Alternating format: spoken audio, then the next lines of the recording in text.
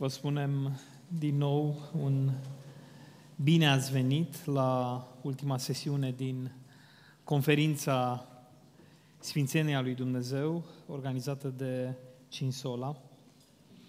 După acest mesaj, vă aduc și eu aminte că va urma o sesiune de Q&A și probabil că încă puteți să puneți întrebări nu doar uh, legate de predica pe care o voi ține eu acum, ci mă aștept ca multe întrebări să vină uh, uh, în legătură cu predica ținută de Andrei despre sfințirea sau familia ca mijloc de sfințire.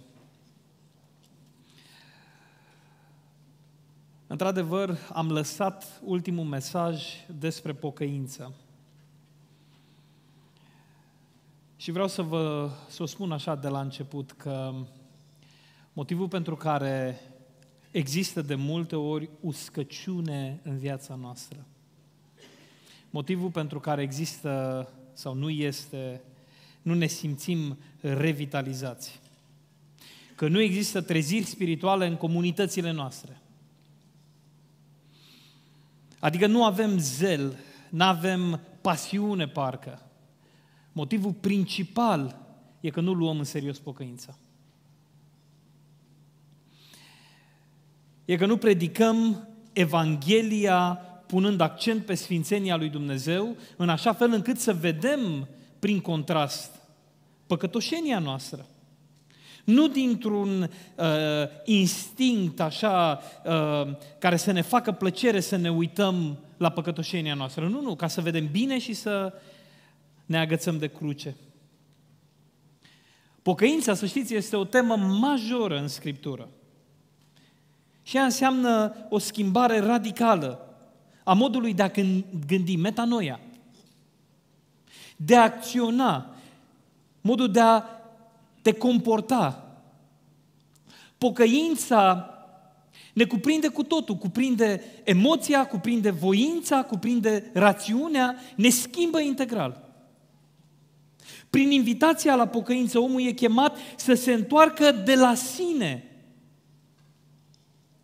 la Dumnezeu sau spre Dumnezeu, de la idolii lui, de la loialități, la dedicarea față de Hristos, de la păcat, de la răzvrătire față de voia divină, la ascultare față de cuvântul lui Dumnezeu. Asta este pocăința. Pocăința reală pleacă tot timpul de la înțelegerea sfințeniei lui Dumnezeu. De aia am vrut să începem cu Isaia, capitolul 6, cu acea expoziție a sfințeniei sau expunerea sfințeniei lui Dumnezeu. Nu ai altă șansă în fața sfințeniei lui Dumnezeu decât să spui, vai de mine! Și Neemia face același lucru când, când se roagă, Daniel în capitolul 9, același lucru, Ioan în Apocalipsa. Toți se uită și spun, deși, de exemplu, Neemia n-are, n-a avut nicio treabă, el era la Susa. El spune, e vina mea și eu am greșit. De ce? Pentru că deodată s-a uitat la sfințenia lui Dumnezeu, s-a întâlnit cu Dumnezeu. Pocăința e un act pozitiv de întoarcere de la drumul care duce spre falimentul etern la împlinirea prezentă și eternă prin Isus Hristos. Vreau în uh, mesajul ăsta ultim din uh, această conferință să ne uităm la trei nevoi pe care noi le avem uh, legate de pocăință. Am împărțit mesajul ăsta în trei puncte și în primele două puncte voi face două expuneri pe două texte separate. Iar în al treilea punct o să ne uităm la cele uh, șapte biserici din Apocalipsa, dar o să vedeți foarte scurt.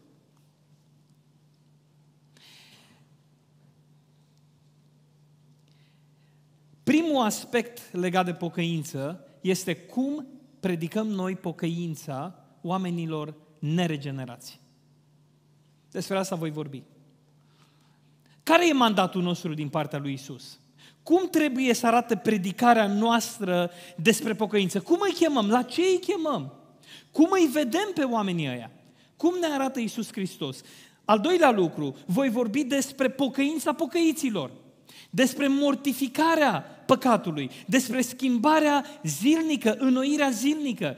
Iar al treilea aspect legat de pocăință despre care voi vorbi este despre nevoia de pocăință a comunităților locale. Așa că vă rog să mă urmăriți. Cum trebuie predicată pocăința necredincioșilor? Și deschideți împreună cu mine la Faptele Apostolilor, capitolul 26, și o să citesc câteva versete de la 15 la 20. Pavel este în fața lui Agripa și, practic, este adus să-și spună mărturia. Spune Pavel, dăm voie, te rog să spun, dăm voie să vorbesc. Și începe și spune mărturia. Și eu voi citi din versetul 15, unde deja uh, Pavel spune, ajunge la momentul întâlnirii cu Isus Hristos și spune ce a spus Isus Hristos. Cine ești, Doamne? De fapt, ce a spus Pavel?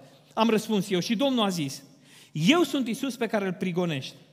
Dar scoală-te și stai în picioare, căci m-am arătat ție ca să te pun slujitor și martor atât a lucrurilor pe care le-ai văzut, cât și a lucrurilor pe care mă vei vedea făcându-le. Și acum fiți atenți, mandatul.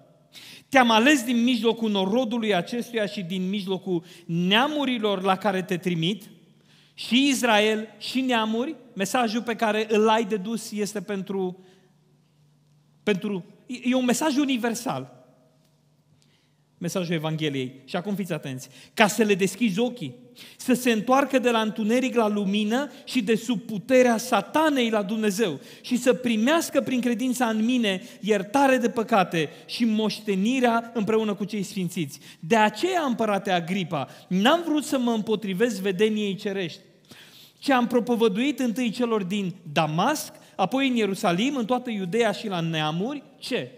să se pocăiască și să se întoarcă la Dumnezeu și să facă fapte vrednice de pocăința lor. Evanghelia este și trebuie să fie tot timpul scandaloasă. La un moment dat am folosit cuvântul ăsta și cineva din biserica noastră a fost scandalizat că am folosit cuvântul scandalos. A zis, oh, scandal, scandal, nu, nu ne place cuvântul ăsta. Dar când Pavel spune crucea este o nebunie, cuvântul e scandalon, nu? E scandaloasă Evanghelia. Pentru omul neregenerat, Evanghelia trebuie să nască reacții. Niciodată nu are cum să nu ne lase fără niciun fel de răspuns. Una dintre cele mai mari tragedii ale bisericii locale sau ale bisericilor e când Evanghelia nu mai naște reacții. Când predicăm o Evanghelie care să nu ofenseze prea tare. Îi bucură pe toți. Îi mulțumește pe toți. Predicăm un mesaj cu care lumea poate fi de acord, nu e așa? Ca să-i acomodăm. Ia-i ușor. Nu începe și tu cu mânia lui Dumnezeu. Nu vorbi prea mult despre păcat. Nu intra prea mult în, în interiorul lor.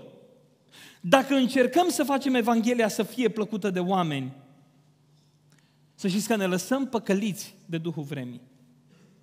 Crucea care e inima Evangheliei va fi tot timpul un scandal, va fi scandaloasă, va naște reacții. Evanghelia are putere să pătrundă, dar atenție, când este prezentată clar. Avem această responsabilitate să prezentăm clar Evanghelia, să arătăm elementele ei. Când o facem clar, are puterea să scuture, să pătrundă, să răzbată cele mai împietrite inimi. Așa că dacă aveți în familie oameni care s-au împietrit și vă întrebați oare ce trebuie să fac, pe lângă faptul că vă rugați, expuneți-i la Evanghelia curată. Și acum, haideți să vedem ce face Pavel.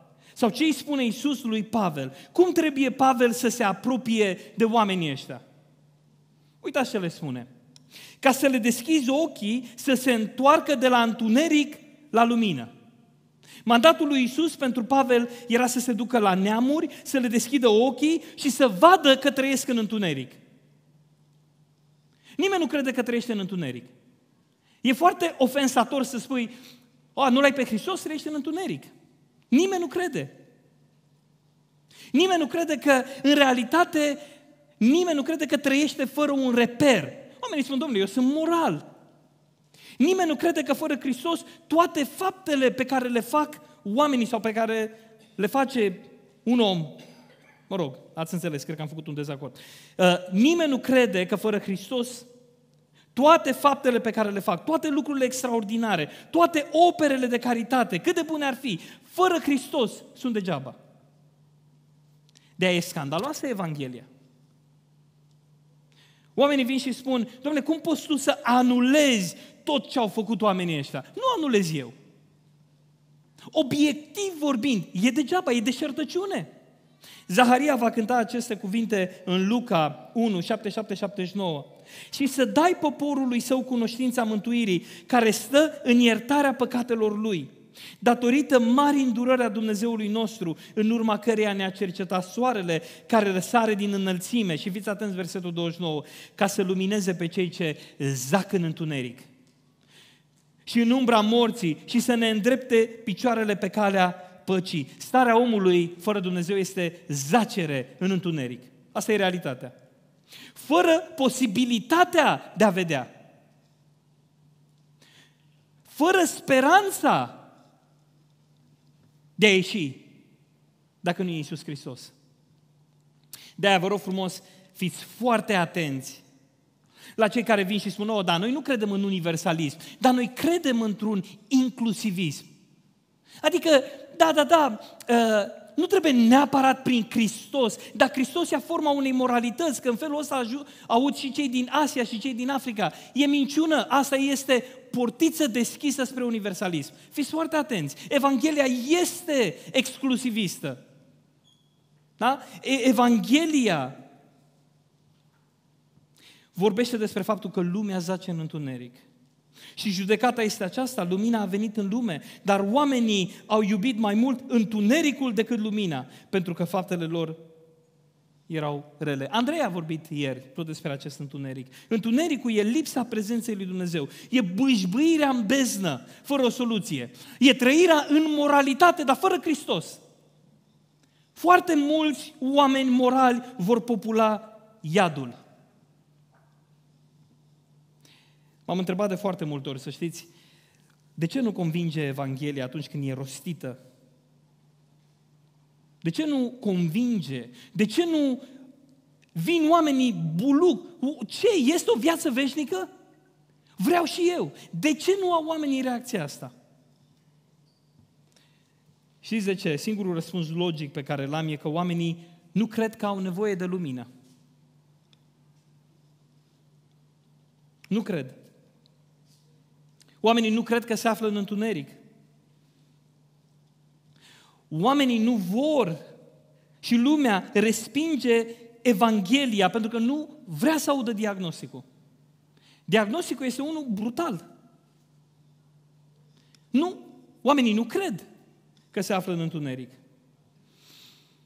Dar diagnosticul corect al lumii este că lumea zace în întuneric, că este sub condamnare, că nu există salvare noi trebuie să mergem să vorbim lucrurile astea. Foarte inconfortabil. Tu, de fapt, ești în întuneric. A, nu, nu vrei să fii puțin mai diplomat? Uitați ce face Pavel în 2 Corinteni, capitolul 4, de la 3 la 6. Am impresia că răspunde și el acestei întrebări.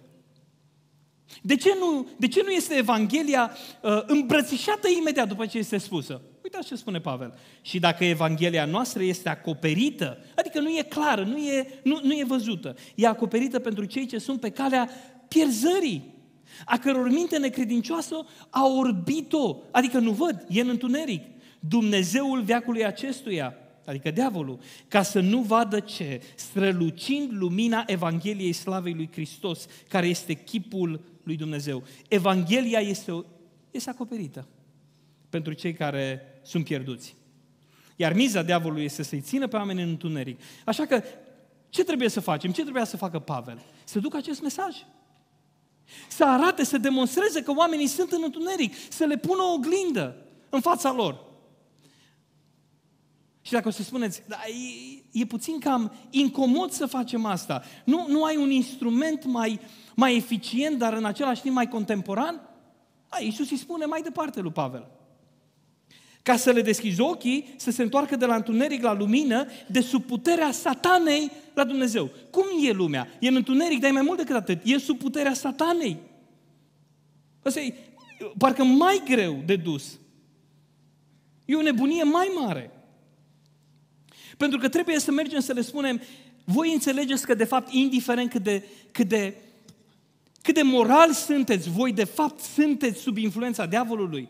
Bă, tu ești nebun la cap, cum adică sunt eu uh, sub influența diavolului care fac atât de multe lucruri bune? Eu fac lucruri bune, cum să, cum să influențeze diavolul în lucruri bune? Oh, ba da, îți, îți va da multe lucruri diavolul.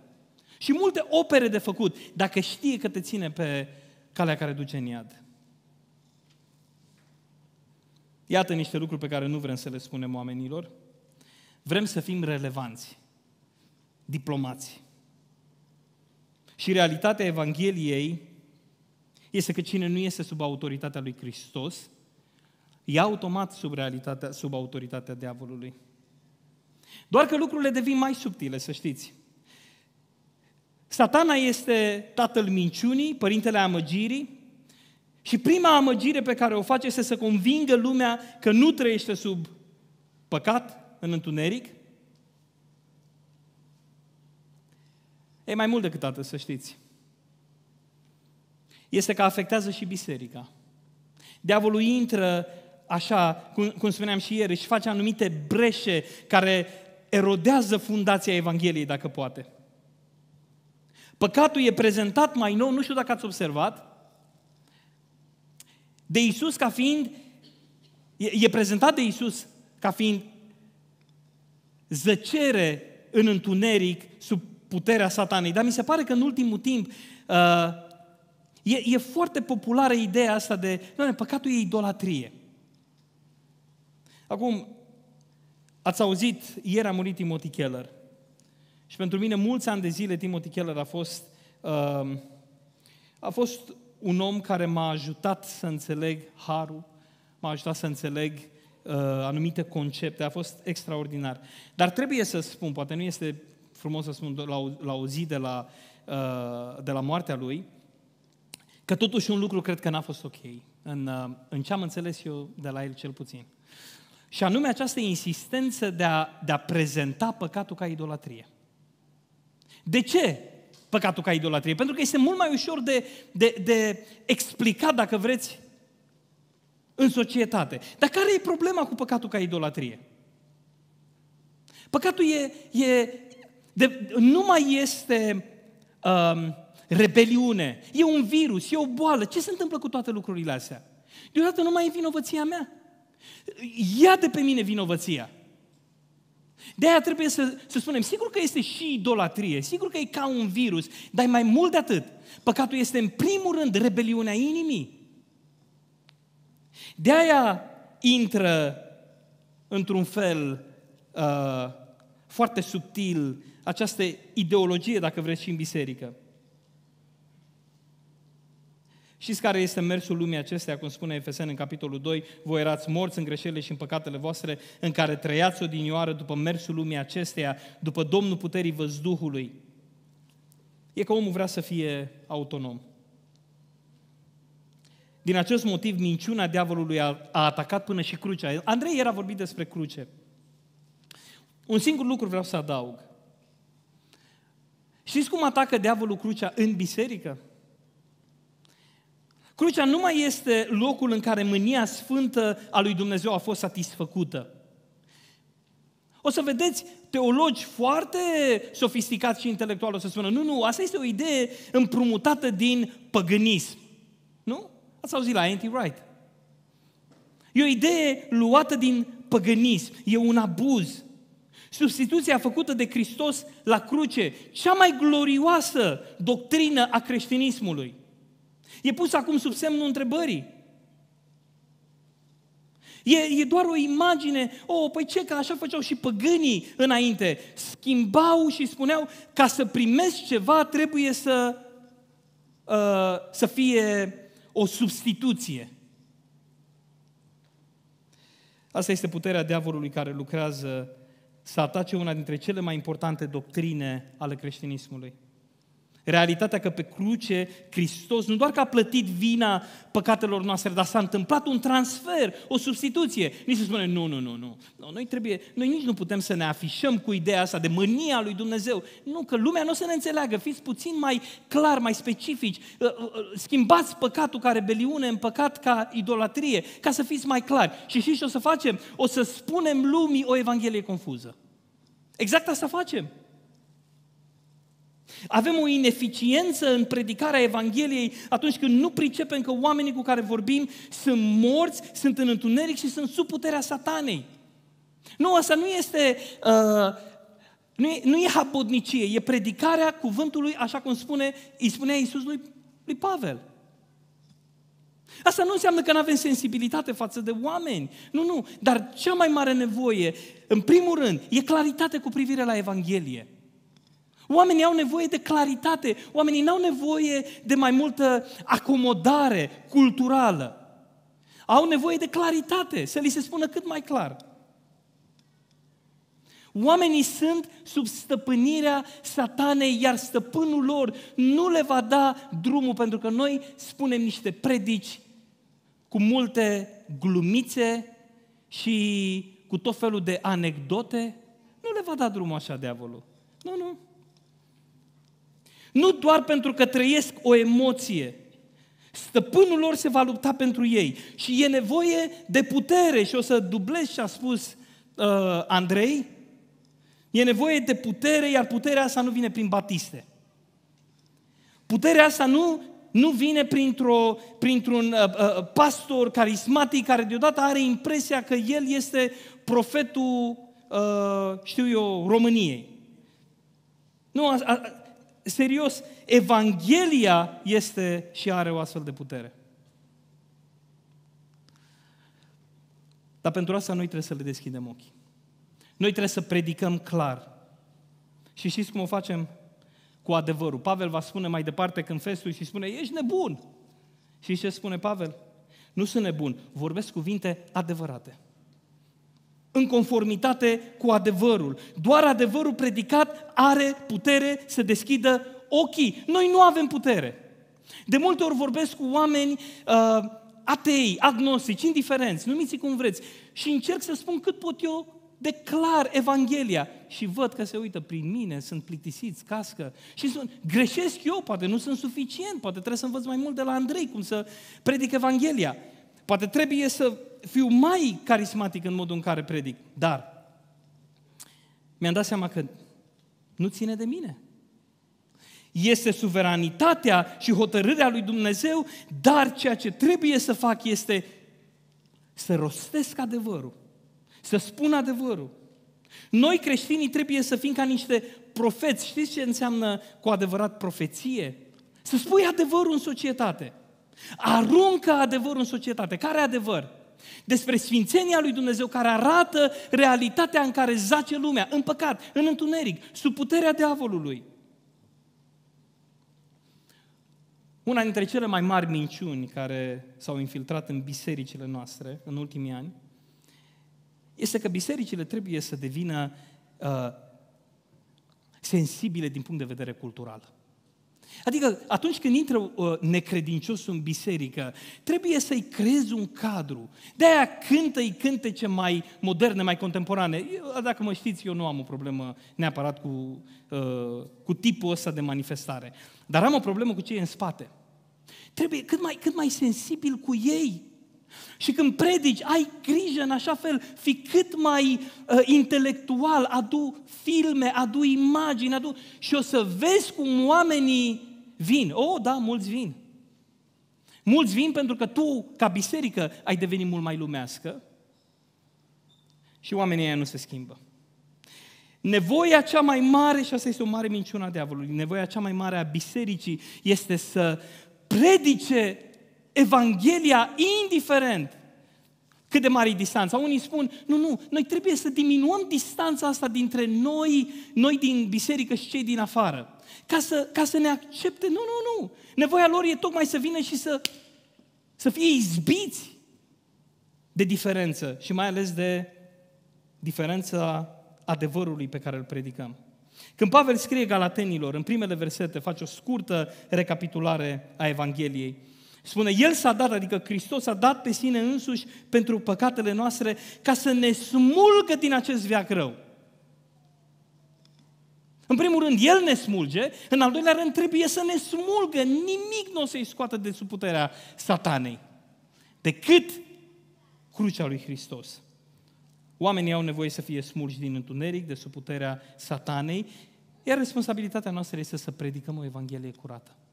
Deci cum predicăm pocăința acestor oameni? Predicându-le Evanghelia, predicându-le adevărul, încercând să le deschidem ochii, că sunt sub întuneric și sub puterea diavolului, satanei. Apoi Pavel îi spune lui Agripa, am propovăduit întâi celor din Damasc, apoi în Ierusalim, în toată Iudeea și la neamuri, să se pocăiască și să se întoarcă la Dumnezeu și să facă fapte vrednice de pocăința lor. A, nu, n-au ridicat mâna și au zis, oh, ce bine, câți? 24, excelent. Nu, nu, să facă fapte vrednice, prea ușor, ca biserici ne-am mulțumit cu, cu numere. Să facă fapte vrednice de pocăința lor. Pocăința se demonstrează, e întoarcerea la lumină, întoarcerea de sub puterea satanei sub puterea lui Dumnezeu. Fapte vrednice de crezare. E schimbarea minții. E părere de rău pentru păcat. Mi-aduc aminte în urmă cu mulți ani. Cred că cel puțin 10 ani. M-a chemat cineva să vorbesc cu el și înainte de a vorbi a început să plângă. Plângea de ei se rupea cămașa de pe el. Și mi-a spus, eu cânt în echipa de închinare a bisericii mele. Dar de trei ani trăiesc cu o femeie măritată, am un copil cu ea. Și vă dați seama, am zis, omul ăsta se pocăiește. Omul ăsta se pocăiește cu adevărat, omul ăsta suferă. Și când am început să pun câteva întrebări, mi s-a clarificat. Pocăința acestui om, știți cum arăta? Tocmai ce se aflase peste tot. Trei ani de zile n-a avut nicio problemă, a cântat în față. Dar când s-a aflat, când, i s-a, când, când a fost expus, eu nu spun că aia nu e pocăință adevărată, să nu mă înțelegeți greșit. Dar n-am putut să nu mă întreb ce l-a făcut cu adevărat să se pocăiască. E părere de rău pentru păcat. E recunoaștere, mărturisire personală și publică, dacă vreți, în anumite situații, a păcatului, mai ales când păcatul e public. E întoarcere de la păcat. Întoarceți-vă și abateți-vă de la toate păcatele voastre, pentru ca să nu vă aducă nelegiuirea la pieire, să nu vă ducă nelegiuirea la pieire. Lepădați de la voi toate fără de legile prin care ați păcătuit. Când predicăm pocăința celor de afară, trebuie să le spunem că așa arată pocăința, o întoarcere totală. Renunțare la propria neprihănire, propria încercare de a, de a mă justifica înaintea lui Dumnezeu. O supunere practică. O punere sub autoritatea lui Dumnezeu, care înseamnă și integrarea într-o comunitate locală. De-aia Evanghelia este scandaloasă. Ăsta este primul lucru pe care am vrut să vi-l spun despre pocăință. Când predicăm pocăința oamenilor, trebuie să plecăm nu de la premiza, toți oamenii sunt buni. Trebuie doar să-i ajutăm să vadă lumina și sclipirea din ei. Tâmpenii. Trebuie să îi ajutăm să vadă întunericul din ei. Realitatea că sunt sub stăpânirea satanei. De aici plecăm.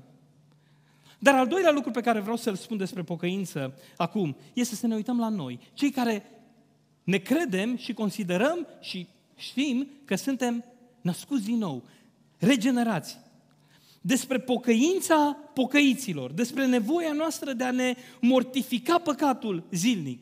De-aia o să fac o scurtă expunere a versetului 11 din 2 Corinteni 7. Deci dacă vreți puteți deschide cu mine la 2 Corinteni 7, versetul 11.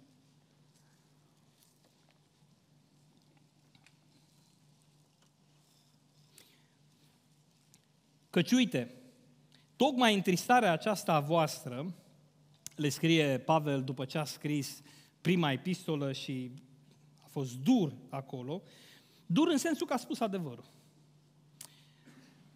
După voia lui Dumnezeu, întristarea aceasta voastră după voia lui Dumnezeu, ce frământare a trezit în voi, ce cuvinte de dezvinovățire, ce mânie, ce frică, ce dorință aprinsă, ce râvnă, ce pedeapsă, în toate voi ați arătat că sunteți curați în privința aceasta. Una dintre cele mai importante întrebări pe care le are creștinul este când știe că s-a pocăit cu adevărat. De multe ori sunt întrebați și de către tineri și de către alții, cât să stau în plângerea păcatului meu? Din acest motiv există două concepte, cred că am zis și ieri puțin despre ele, care tot timpul trebuie puse împreună pentru creștini. Mortificare și vivificare. Mortificare înseamnă să mă uit la, la cancerul păcatului care e în mine. Și la vivificare să mă uit la ce face Duhul Sfânt, ce a făcut Isus Hristos la cruce și să mă odihnesc în ce a făcut Hristos la cruce. Ioel, capitolul 2, cu versetul 13, este o exemplificare extraordinară a acestor două concepte. Sfâșiați-vă inimile, nu hainele. Sfâșiați-vă inimile. Întoarceți-vă la Domnul Dumnezeul vostru. Și acum fiți atenți, căci El este milostiv, plin de îndurare, îndelung răbdător, bogat în bunătate, îi pare rău de relele pe care le trimite. Astea două împreună, sfâșiați-vă inimile. Nu treceți din prima la uh, Dumnezeu e plin de îndurare. Sigur că e plin de îndurare. Dar uitați-vă, cum îmi mortific păcatul? Mă uit la el, îmi e clar, îl știu, îl cunosc. Ne cunoaștem păcatul? Îl știu. Mortificarea este să ne vedem adâncimea păcatului. Vivificarea este să ne uităm la cruce. Așa că atunci când Pavel le scrie corintenilor despre pocăință, în doar acest verset, sunt șapte lucruri peste care eu, eu o să spun doar șase din ele, foarte rapid. Dar uitați-vă, vă rog, în versetul ăsta, sunt șapte lucruri pe care le spune clar ce, cum arată pocăința, cum arată mortificarea, cum arată o pocăință după voia lui Dumnezeu. Uitați cum arată. Din întristarea după voia lui Dumnezeu, se naște o frământare. O frământare care e o, e o vigilență, de fapt, în fața păcatului. Creștinul care știe ce înseamnă să întristeze pe Duhul Sfânt, ce înseamnă tăcerea lui Dumnezeu. Pentru că să știți că uneori Dumnezeu ne disciplinează și prin tăcere. Și așa de mult tânjim după intimitatea care a fost, care a fost lovită de păcat, nu? Dar știți ce face această întristare? Naște vigilență în noi. Pocăința adevărată naște vigilență. Devenim mai atenți, mai răbdători, ne uităm mai atent la cursele diavolului, învățăm și retlicurile lui. Suntem mai atenți. Asta este pocăința. Primul lucru, uitați-vă ce frământare, ce vigilență a născut în voi. De-aia nu mă supăr. Nu mă supăr. Că, și nu-mi pare rău că v-am supărat prin epistola mea, spune Pavel. Ăsta e primul lucru. Al doilea lucru spune, ce dezvinovățire. Care nu e o încercare, nu trebuie văzută ca o încercare de a ne justifica noi dreptatea înaintea lui Dumnezeu cât de a obține mai degrabă iertarea. O recunoaștere a vinovăției și a stării în care ne aflăm. Andrei ne-a vorbit despre, uh, și despre relațiile soț-soție. Vreau să dau și eu un exemplu despre uh, momentele când ne certăm, eu și Rodi. E ok, Rodi? Super. Uh, domnule, când ne certăm, intrăm amândoi mai mult eu, dar intrăm într-o stare de scuzați-mi acest cuvânt, berbecism, nici nu știu cum să-i zic. Devin un berbec. Adică, nu, nu vă gândiți la alte chestiuni. Dar devin foarte... Și deodată îmi găsesc atât de multe uh, circumstanțe atenuante. Și parcă nu mai văd. Și văd deodată cât de mult mi-ai greșit. Oh, cât de, cât de multe lucruri mi-ai greșit. Le văd foarte clar. Ei, vreau să spun că din starea asta de împietrire nu ies aproape niciodată decât în momentul în care mă duc la ea și spun, Rodi, în tot ceea ce a fost, în tot ceea ce am discutat, vreau să știi că vinovat sunt eu. Eu. Chiar dacă îmi dau seama, poate că tu m-ai provocat, poate eu sunt vinovat. E vina mea. Te rog, iartă-mă.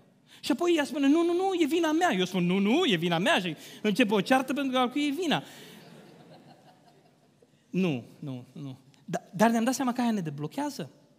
Vedeți ce dezvinovățire, vedeți ce, cum arată acum, ce, ce naște pocăința în voi. Adevărata pocăință ne aduce înaintea lui Dumnezeu să spunem, da, Doamne, așa cum sunt, uite-te la mine, ăsta sunt. Ăsta sunt, primește adevărata pocăință. Doar atunci suntem cu adevărat deblocați. Și vreau să chiar, să chiar să spun ceva mai mult de atât.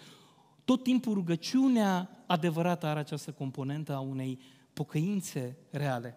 Doamne, azi am bârfit. Doamne, azi m-am uitat cu... Uh, sau ochii mei s-au uitat unde n-au trebuit azi. Doamne, eu am greșit. Iar îți, îți dau inima mea. Asta este adevărata pocăință. Îți deschid inima mea. Dar apoi fiți atenți ce spune.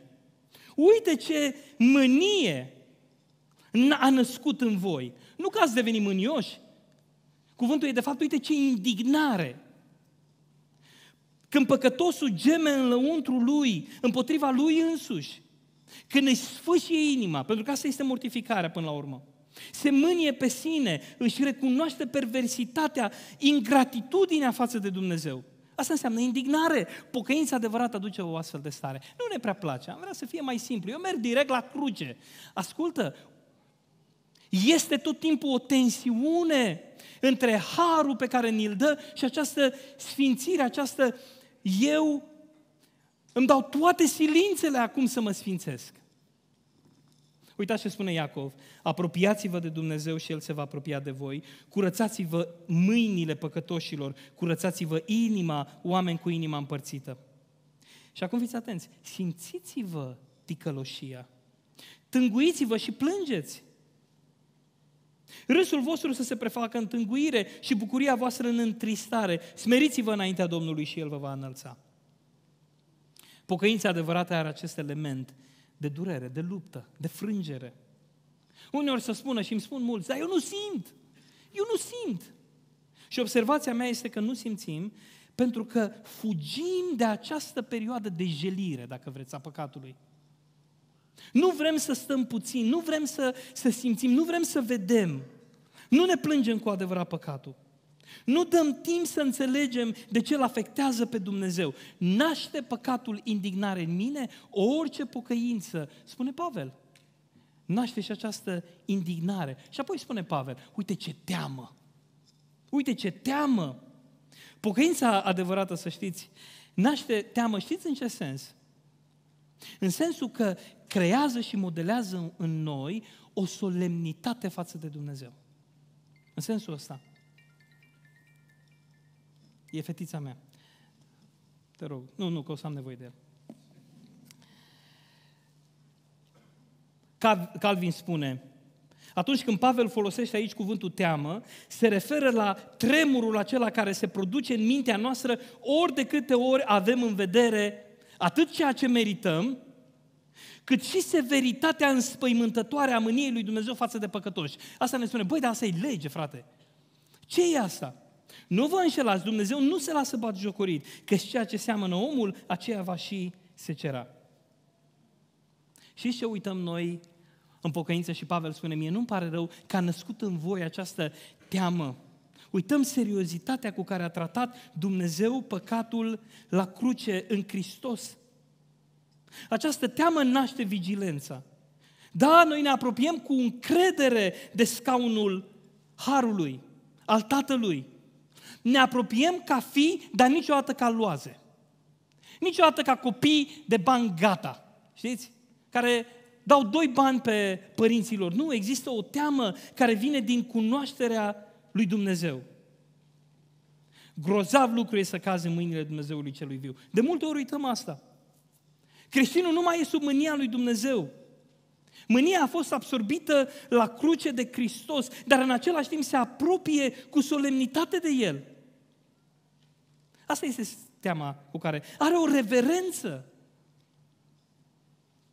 Pocăința adevărată ne trezește cu adevărat sentimentul sfințeniei lui Dumnezeu. Nu-L tratăm pe Dumnezeu cum vrem.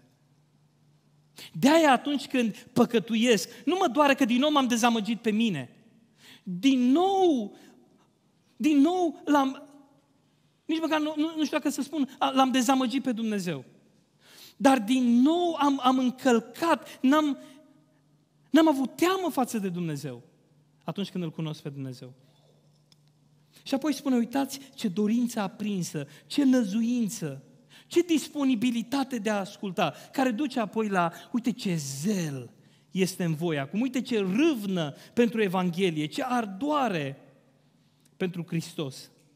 Căci cu cât suntem mai severi față de noi înșine și cu cât ne examinăm mai drastic propriile păcate, cu atât mai mult ar trebui să sperăm și să credem că Dumnezeu este plin de har față de noi. Să știi că cei care se pocăiesc cu adevărat știu ce sunt rușinea, confuzia, nemulțumirea de sine și alte păcate care se, sau emoții care se nasc din recunoașterea vie a păcatului. Problema este că toate emoțiile astea sunt în dezacord cu ceea ce spune cultura. Care oricine se va duce la o ședință de psihoterapie, în special din afara uh, bisericii, primul lucru pe care îl va auzi va fi ăsta. Vinovăția e rea. Nu, nu, nu. nu. Îndepărtează vinovăția de la tine. Pavel spune asta altfel. Uite, uite cum arată adevărata pocăință. De aia spune, uitați-vă dar cu luarea minte la cel ce a suferit din partea păcătoșilor o împotrivire așa de mare față de sine, pentru ca nu cumva să vă pierdeți inima, când vă pocăiți, când treceți prin toate etapele astea, vă mortificați păcatul, nu uitați de vivificare, adică nu vă uitați de cruce. Căci nu avem un mare preot care să n-aibă milă de slăbiciunile noastre, ci unul care în toate lucrurile a fost ispitit ca și noi, dar fără păcat. Să ne apropiem, dar. Nu ne pocăim ca să, să fim acolo niște oameni umil. Nu, nu. Ne pocăim ca să avem mai multă îndrăzneală. Scopul pocăinței omului născut din nou e tot timpul intimitatea cu Dumnezeu, recuperarea intimității, dragul de a sta în prezența Lui. Asta este. Să ne apropiem, dar cu deplină încredere. Mie aici mi se pare că e și bucurie. Cu deplină încredere, cu bucurie, de scaunul Harului. Pocăința e un mijloc al Harului. Și al treilea lucru pe care vreau să vi-l zic și îl zic repede. Primul a fost că atunci când vorbim despre pocăință, trebuie să le spunem oamenilor despre întuneric și despre faptul că se află sub puterea satanei. Să le deschidem ochii. Asta este mandatul nostru. Apoi să ne uităm la cum ne pocăim noi.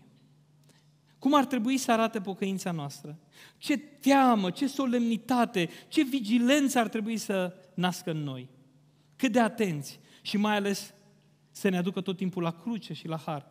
Dar ultimul lucru pe care vreau să vi-l spun, un lucru care poate e mai neobișnuit, e că e nevoie de pocăință și în comunități. Mai e un tip de pocăință.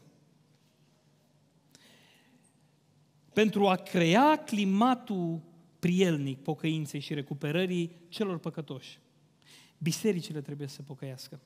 Și o să vreau să Vă duc puțin în Apocalipsa, foarte scurt. Domnul Iisus adresează câte un mesaj fiecăreia dintre cele șapte biserici din vremea Apostolului Ioan. Și toate cele șapte biserici sunt considerate de Domnul Iisus sfeșnice de aur. Da? Dar numai față de două din aceste biserici, Domnul Iisus nu are un cuvânt de mustrare. Numai față de două. Prima este Smirna sau biserica persecutată și a doua este Filadelfia, adică comunitatea de credință în care dragostea de frați și iubirea de oameni reprezentau trăsături dominante. Așa că am putea să spunem că bisericile apreciate de Domnul dintre astea șapte sunt biserica martiră și biserica misionară. Biserica care are pasiune pentru Dumnezeu și compasiune pentru oameni. Dar după aia se uită la celelalte biserici și scoate în evidență Domnul Iisus câteva păcate ale bisericii, ale comunităților. Și vreau să ne uităm la ele foarte pe scurt. Pentru că bisericile trebuie să se pocăiască de lipsa de dragoste autentică. Biserica din Efes, ți-ai părăsit dragostea din tâi. O biserică ce nu are în mijlocul ei această dragoste, o manifestare a harului față de oameni. E o biserică care și-a pierdut scopul. Dacă vă veți iubi unii pe alții, asta va arăta lumii până la urmă și existența lui Dumnezeu. Cel mai mare argument al existenței lui Dumnezeu e comunitatea locală și dragostea din comunitatea locală. Apoi trebuie să se pocăiască de lipsa de discernământ spiritual. Biserica din Pergam. Ai acolo câțiva și nici nu știi. Sunt acolo câțiva, s-au strecurat printre voi, iar tu nu știi. Lipsa de discernământ spiritual. Bisericile trebuie să se pocăiască de discernământ spiritual. Doamne, de ce nu e mai multă uh, pocăință la noi în biserică? Cum stai cu dragostea? Cum stai cu, cu, cu a observa, cu discernământul, cu, cu cine predică la tine în biserică? Cine e lider? Cine influențează? Apoi, trebuie să se pocăiască de lipsa de fermitate și Iosua ne-a predicat despre disciplinarea în biserică. Biserica din Tiatira, tu lași pe aceea să învețe și să amăgească. Îi lași, nu ești ferm. Ai, mie nu-mi place scandalul, mie nu-mi place... Da. Trebuie să vă pocăiți, spune. De lipsa de veghere. Biserica din Sardes. Dacă nu veghezi, și apoi de lipsa de dedicare smerită biserica din Laodicea, care este cea mai criticată. Pentru că zici și nici măcar nu știi. Astea sunt păcatele în care cad și pot cădea comunitățile. Lipsa de dragoste autentică, lipsa de discernământ, lipsa de fermitate, lipsa de veghere, lipsa de dedicare. Și să știți că noi toți avem ceva de spus. Sunteți aici oameni care sunteți lideri în bisericile voastre. Sunteți unii care ați spus întrebări, ce putem să facem? Prin predicare creșteți discernământul bisericii. Uitați-vă dacă cumva este predicată cu adevărat Evanghelia, în așa fel încât dragostea să fie înflăcărată, ereziile să fie observate și îndepărtate, liderii să fie fermi în dragoste și sensibili pastoral. Nu modelați de modă, de cei cu gura mare, credincioșii să fie veghetori și cu o dedicare autentică.